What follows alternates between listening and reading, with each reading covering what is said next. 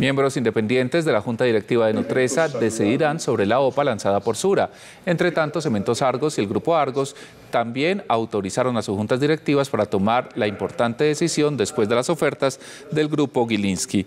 Durante la Asamblea Extraordinaria de Nutresa realizada hoy en Medellín y que alcanzó un quórum del 88%, se reformaron los estatutos para modificar el número de miembros de la Junta Directiva. Se concluyó que solo los integrantes independientes de la misma tendrán la responsabilidad de decidir si aceptan o no la oferta pública de adquisición lanzada por el grupo Gilinski por las acciones de Sura.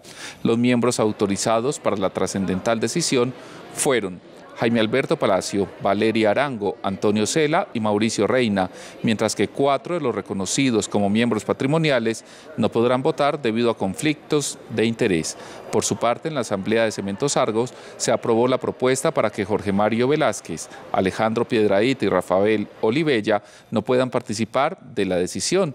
Entre tanto, la Asamblea del Grupo Argos autorizó a la Junta Directiva decidir sobre la OPA, lo que quiere decir que cinco miembros tomarán la Gonzalo Alberto Pérez, presidente del Grupo Sura, y Carlos Ignacio Gallego, presidente de Nutresa, no participarán.